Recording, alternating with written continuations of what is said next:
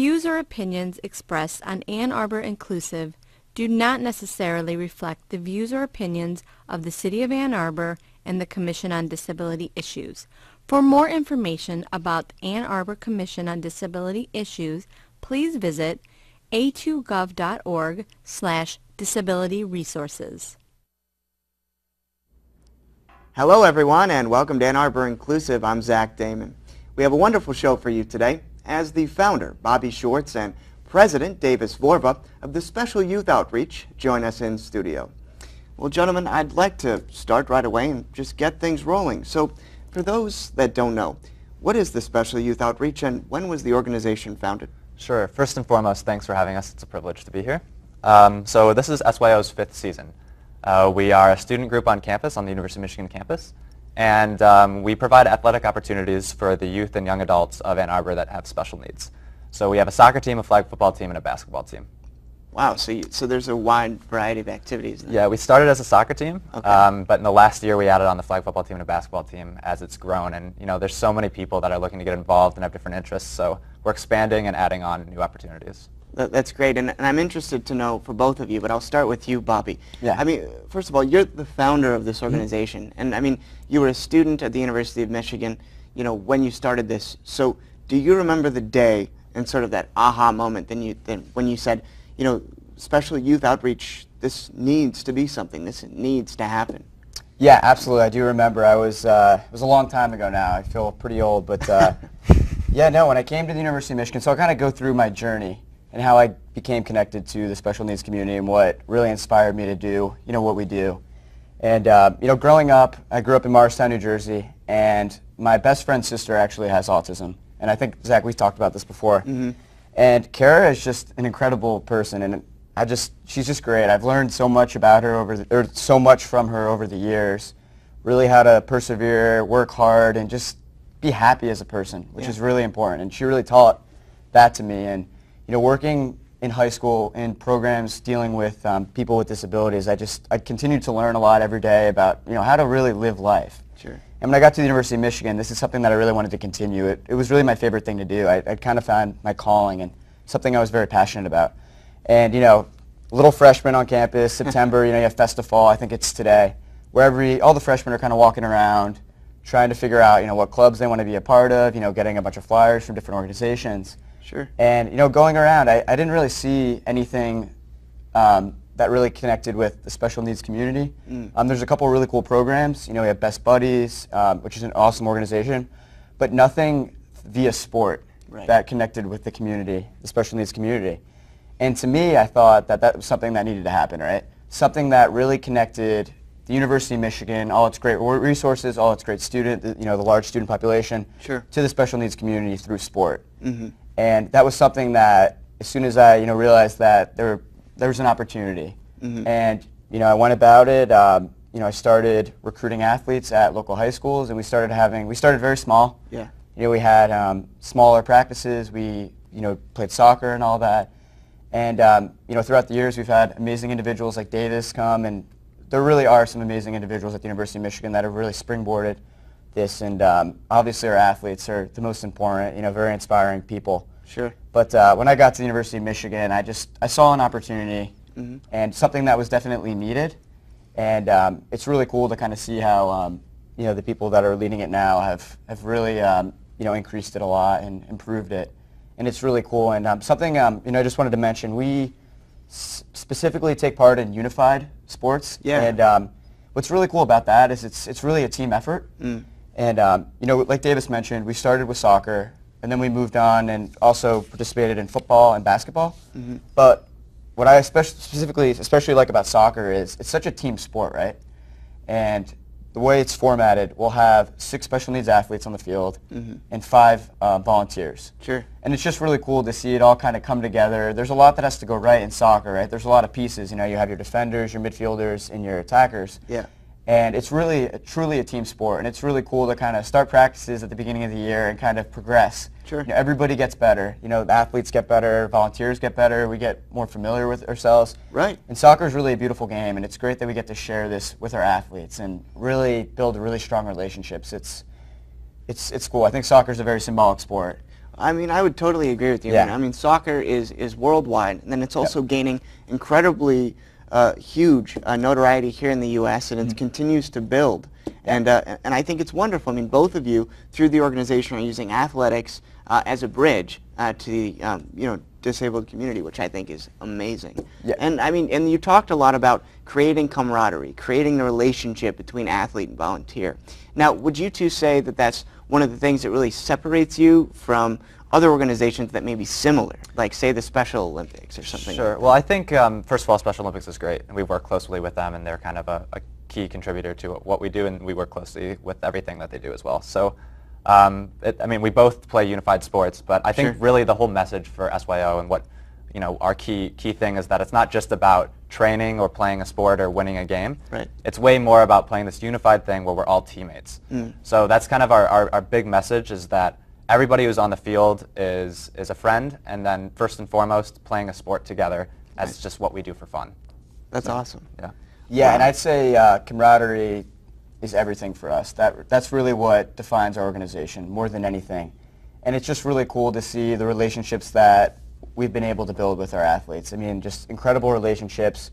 And I think the coolest thing about it is like technically we're mentors, but really uh, our athletes I think teach us way more about anything than we teach them. Yeah. You know, we teach them about sport, you know, some of the rules. You know, we try to push them as hard as, as we can to, you know, get better at the sport. Yeah. But uh, it's just really cool, the lessons that I've learned, and I've really been able to translate that into the real world and just be a happier person. And What- that- that's really the roots of the organization, right? Sure. When Bob started this in his hall in Bursley his freshman year, it was really like his, his hallmates that started. So it, it was it's like this always been this close knit group of friends and volunteers. Yeah. And I think that kind of just spread to include our athletes, right? So it Yeah. started with friends, and that's kind of the whole motivator for us as we continue to grow.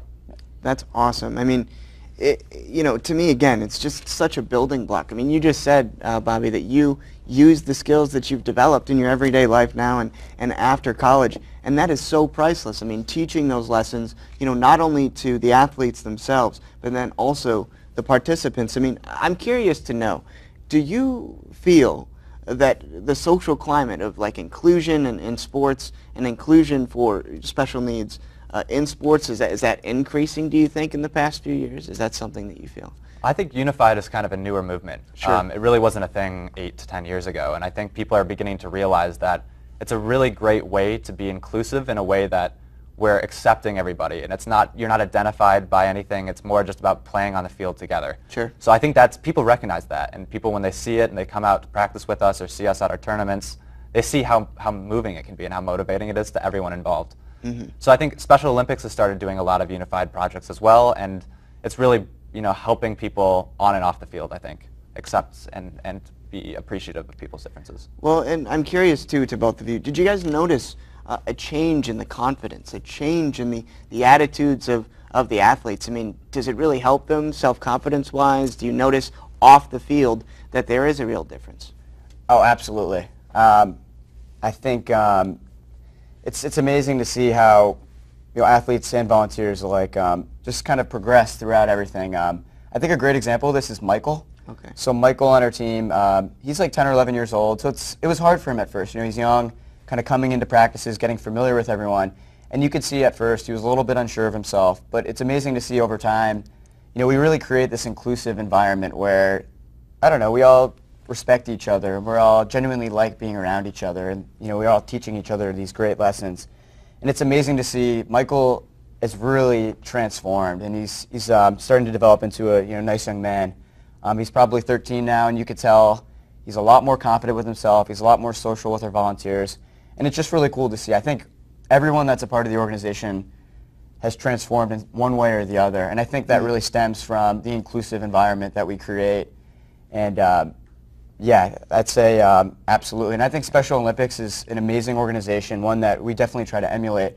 And I think they've really done a great job in, you know, raising awareness about, you know, disability issues. I mean, last summer, watching um, ESPN, I saw the Special Olympics World Games on E Oh, wow. ESPN, Yeah. Which is something really cool. I think they've done a terrific job of raising awareness, creating opportunities. Sure. And I think it's really cool that other smaller organizations have kind of been inspired by them and have continued the movement, right? You know, um, you know things like what we're doing. You know, Best Buddies. There's a lot of great organizations, and it's also really cool to see other universities throughout the United States are doing something similar to us, which makes it fun because uh, like little rivalries, right? You Yeah. know, all in good fun, but you know, we play Michigan State in sports. They have a unified program as well. Okay. Notre Dame.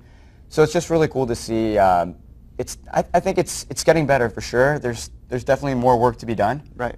right? We want we want to be in a um, a place where you know everybody's more inclusive. There's still a lot of work to be done, but I think Special Olympics and you know groups like ourselves are really trying to you know promote positivity Sure. and um, inclusiveness, right? And just make every, everyone deserves to have a friend, right? Yeah. Especially these kids. They're just they're incredible individuals. They have so much to offer, and um, I just feel very blessed to um, have the opportunity to have had the opportunity to um, have worked with them, and it, it's amazing. Um, so I live in New Jersey now, and um, what really brings me back to Ann Arbor, and I, I really mean this, is you know my team.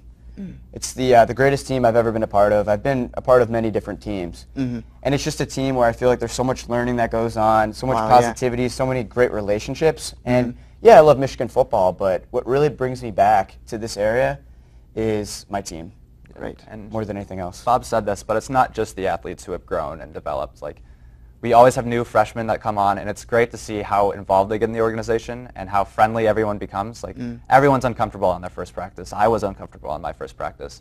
And you grow. You grow comfortable with playing together, and it's less about being a volunteer or an athlete and more about being a teammate by the end of it. I think that's, that's shared by both sides, not Mm. just our athletes. I mean, are, are there lo- lifelong friendships that are developed as well? Uh, you know, in this organization. I mean, it, it sounds like it's one big family, and you know, I think, you know, it's interesting because it just so happens that you were a student and you're a student at the University of Michigan, and you did this in Ann Arbor, and you started it in Ann Arbor. I mean, can you talk about the significance of Ann Arbor as a city and why you think it worked because of the place that Ann Arbor is? Sure, I can answer this one. I think um, it really stems um, the University of Michigan uh, being such a large university. Um, I just think there's there's a lot of very uh, you know talented people, a lot of people that are passionate, and they're just genuinely good people. Mhm. And I think um, we've really been able to tap into the great student population, and um, also just a great area with um, a lot of um, individuals with disabilities. Very inspiring, and I I don't know. I think. I think um, everyone is really excited to work together, but I think it's really helped being at the University of Michigan, and a lot of people really do want to make a change in the community, and I think that's really helped. And we also have a lot of um, you know great families that have been absolutely phenomenal in helping me um, make this a reality. A lot of um, our athletes' parents have, have done so much for me, Sure. and have really helped me. I mean, it, was tough at first, right? We only Oh, yeah. had a few athletes. Um, we really struggled to kind of get the word out, but they really helped in um, you know promoting the club, um, having other you know some of their kids' friends um, take a chance on us, Mhm. and um, there's been a lot of moving parts that have made this possible. And Ann Arbor is just a really special place with a lot of really great people. Yeah, I, so I joined in the second year of SYO. I'm a year younger than Bobby. Sure. And um, like when I came on, we had maybe uh, 10 to 12 volunteers and about that many athletes. Wow. And so I mean, it's grown by a, a lot by now. But um, Yeah. the whole thing there was, you know, you tapped in. I met Bobby at Escapade, which is a freshman coming together and meet groups. Okay. And but the the real thing that really helped us grow, I think, was our parents. Okay. So they were really they, they're aware that we're students, and they're Sure. we have a bunch going on, and we we've not really run that many things before, mm-hmm. and they've been supportive of that, and I think that's what makes SYO special. It's not just an adult professional soccer coach, or yeah, like we're peers, and I think parents recognize that and enjoy that, and it's a great opportunity for everybody to be a peer, if you know. So I think that's kind of like the motivator for Yeah.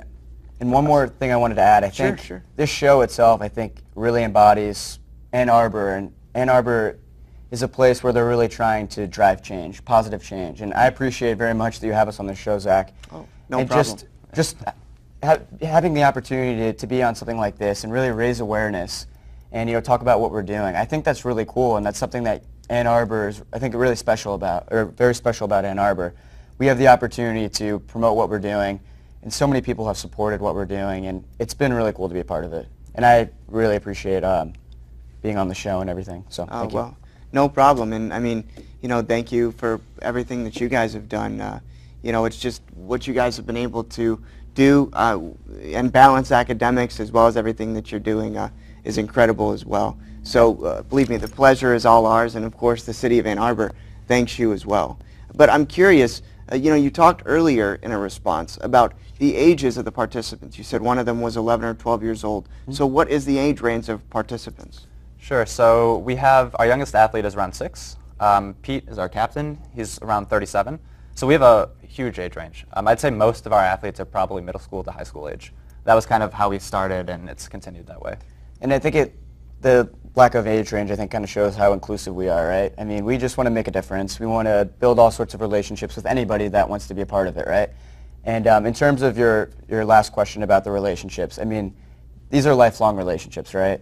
Um, and it's really cool. Um, you know, the my athletes, uh, they'll call me on the phone. We'll talk once a week, which is really cool. Peter, Peter, who's the captain of our team, it's really cool. Um, you know, I called him yesterday, told him I was coming back. So yeah. it, it's definitely really cool. We we genuinely like each other. Sure. Uh, these are just great relationships that'll last a very long time, and I'm really excited to especially see our younger athletes as they get older, right? And mm. I know that they're going to do great things, and it's just really cool to see everybody grow up, and um, you know, get older, continue to develop into really you know special people, and um, yeah, it's very cool. It's great. I mean, both of you, if you can, I mean, touch on, and Davis, you probably would would know this response a little bit more, but talk about the goals that you have set uh, for the future in this coming year.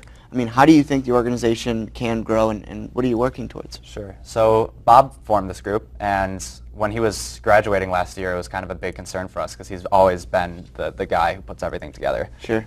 So this last year and going into this fall, we're trying to make sure we have the architecture set up to be sustainable so that when I graduate next year, we have this awesome e-board, most of whom are sophomores. And they're young, young volunteers who stepped on in nine months and now running, running teams.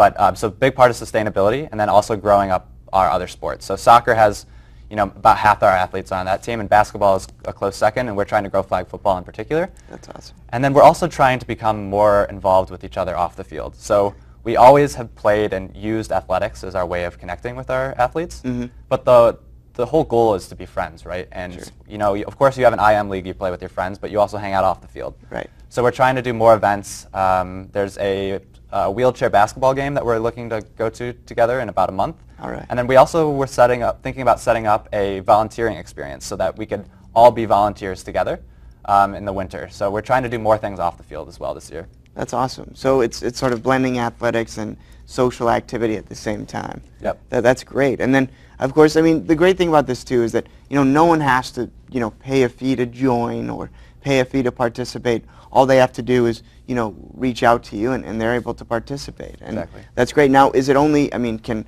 can you know women participate as well, or is it just for? Yep. Um, yep. Uh, okay. Uh, we yeah we have no restrictions on age, gender, anything like that. If you want to come play, then we'll have you. Yep. Okay. Yep. No, great. And I mean, talk about too. I mean, I'm really interested for both of you. Talk about the motivation. I mean, you're in the middle of classes. You're in the middle of exams. You're going through, you know, one of the hardest, rigorous schedules that you can as students, and yet you still find the time and the motivation uh, to keep this organization going. So, can you talk about what motivates you guys? You know, getting up every day getting up in the morning, staying on task, knowing that, hey, this is really something that I'm not going to burn out on. I really care about it. Sure. Um, so I think for me, we had a freshman meeting yesterday where we had about 20 new freshmen who were looking to get involved. And that's always a concern because a lot of people, of course, they're coming onto campus freshman year. There's so much to do. Why SYO? And like, why, why is it important to stay with it? Sure. And I think it's really hard to, to say why, but when you go to your first practice and by the end of it, I think everybody recognizes it's so rewarding. You can step away from, you can put down your books, you can get off of your exams, um, and it's a really good way that you feel awesome when you're done. It's a ton of fun, sure. and everybody is so happy to be there. Like yeah. everyone is smiling. It's really rewarding as a, a, a, you know to run it and have this great group of people around you. Um, so I think for me, it, it's, it's never really even crossed my mind to, to not do it. I just can't imagine what my Michigan experience would have been without it. So that's amazing. Yeah. Cool. Yeah, for me, it's uh, you know the people I've met and the relationships that I've been able to develop, you know, with the volunteers and the athletes. That drives me more than anything. Um, the lessons that I've been taught. Um, I don't know. I just feel genuinely happy, and I feel like I understand how to live life a lot more. You know, um, I've really learned how to like persevere, um, work hard, and I don't know. I watch I watch our athletes persevere every single day and overcome, you know, everything and, and get better. And to me, um, it just motivates me to get better every day. Mm. And um, more than anything else, it's, it's kind of funny. I say this all the time. You know, University of Michigan is a great um, academic institution. Sure. But all of my like real learning, I think, happened outside of the classroom working with our athletes. And you know, I learned a lot at the University of Michigan, but I learned even more just um, interacting with the great people that I had the opportunity to interact with. Sure. And um, that drove me more than anything else. And it's going to continue to drive me in the future to continue to stay involved and um, make a difference and develop these relationships and keep them going. That's that's wonderful. And what, what I find so interesting too is that, you know, you guys are continuing to, you know, promote the movement, and you know, I think that's wonderful. I mean, are, I feel like it's great because you're really able to act as the organization acts as an icebreaker for a lot of students, right? That are coming in that are new, that that want to be involved with the university in some way, but just aren't sure. And so again, I think it's wonderful that you're there. I mean, what do you have to say to, to students that are watching right now to the show and, you know, why get involved? Sure. Um, so I think when I first came to campus and I first had my, so I, I, will tell my story. Bobby Sure. got his and so I'll tell mine. Um, so I was a soccer player and that was like my thing. Um, and I had an injury and I couldn't play. I wanted to play in college and I couldn't. So when I was coming to campus, I saw a soccer ball on the stand and I was like, I'll do that sport. And then I, sh- I talked to Bobby and I was I found out that it wasn't just about playing soccer, it was about volunteering and that, that was my introduction to SYO. So when I showed up to the first practice, I was uncomfortable. I didn't really know what to do. I didn't know how to act. Um, but you learn a lot about the issues that people struggle with, and you you realize how human everybody is. And I think it's just one of the most rewarding things you can do, and it's also fun, so that helps as well. But um, you know, as a student, you're going to be, you know, you have all these stressful things, and it's important to put that in place. If you take a step back and see see what your life is, and and you're, I mean, it, we're all here at University of Michigan. It's a blessing in, in itself. So Yep. it's humbling, and it's also just so much fun. So I think that that was it for me. Yeah. Yeah. Yeah, and I, I totally agree. Kind of based on what I said, um, my last uh, thought.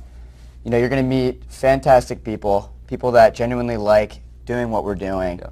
You're going to build really strong relationships, and you know, I think the most important thing is you're just you're going to learn a lot. You know, working with all the people involved, you're going to learn um, just a ton. Things that you can't really learn in the classroom. Things that you can only learn being challenged and kind of observing others around you and just the really cool things that they're able to do. And it's, it's really inspirational. I, I recommend um, you know, students try it out at least. And um, I think you'll really learn a lot about, about life in general and um, you'll build really strong relationships. And yeah, I recommend it. And it's really cool to see um, University of Michigan students. I mean, we had our festival, or we had something last week where we were recruiting incoming freshmen, and there's a ton of interest. Yeah. So it's really cool to see the University of Michigan students really getting involved with this, and some really just genuinely good people that really enjoy it. Mm-hmm. And um, yeah, I think there's a ton to learn, and um, I feel very good going forward with Davis um, at the forefront of everything. Um, I think they're going to do a ro- lot of very cool things, and Mhm. yeah, I recommend that students become part of it. And I, Cool. I really think one Yeah. of the special things about SYO in general is that, you know, when people don't know about it, um, there's, I mean, there's so many different opportunities. But Sure. what we've experienced, or at least personally, is whenever people find out about SYO, everybody thinks it's awesome. Like, it's, it's one of those things where everyone can really get behind once they start learning about what we do and the outcome that we have. So I think it's, it's something that a lot of people, there's so much support from our athletes, our parents, our volunteers, other organizations at other schools. Right. Um, it's really growing, and it's, it's a movement people are getting behind. So it's super exciting to be involved. That's great. I mean, people are getting behind it. This is a, a great thing. So yeah, I mean, why not get involved? You know, it's like it's like trying a new and weird food for the first time, right? You're like, I don't know about this. This looks weird. Let me try it, and then they try it, and it's their favorite food. Yeah. Yeah. So there you go. Just gotta give it a try. That, that's right. Just got to. What? Well, I mean, what? What does trying hurt, right? What is it? Yeah. But uh, no, I mean, it's great. And then I'm curious to know to Bobby too, because he graduated, right? So. What are the plans for you then, now that you've left Michigan, and now that you know SYO is here at the University of Michigan? Are you gonna, you know, be visiting and coming back periodically, like checking in, or what's the plan for you then? Yeah, I mean, what really drives me to come back to Ann Arbor is, is my team, right? And, um, you know, I already have a couple vacations planned, you know, taking off work. It's all right, they won't notice. Um, but, uh, yeah, so I'm coming back in a few weeks. And, you know, I plan on, I mean, Davis is running the show. He's, he's phenomenal. I mean, Mm. we have some great people that are really passionate about what they're doing. So really, um, I just got to get to enjoy it, come back, um, you know, keep keep in touch with everyone, come back to events, and you know, being at home. I've been working for three months now. I'm back in New Jersey, my hometown, and I feel like something's really missing. And I think what's missing is my team. So um, you know, going forward, um, I think I'm I'm going to try to maybe start something in Morristown, New Jersey. You know, um, Sure. maybe get maybe get local colleges connected and start something that we've done, something similar to what we've done here in Michigan. And I, I- it's just something that I need in my life. It's something that it grounds me, it, it teaches me, it makes me better, and uh, yeah. So I'm really looking forward to coming back to Ann Arbor and you know potentially starting something in New Jersey just to continue That's awesome. um, contributing and meeting great people and learning. And you know I'm really looking forward to it um, a lot.